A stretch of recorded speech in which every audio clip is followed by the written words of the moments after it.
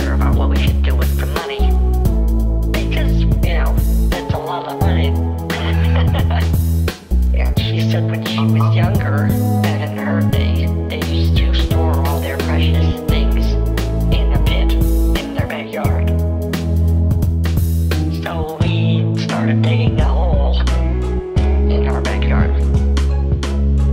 We were digging a pit.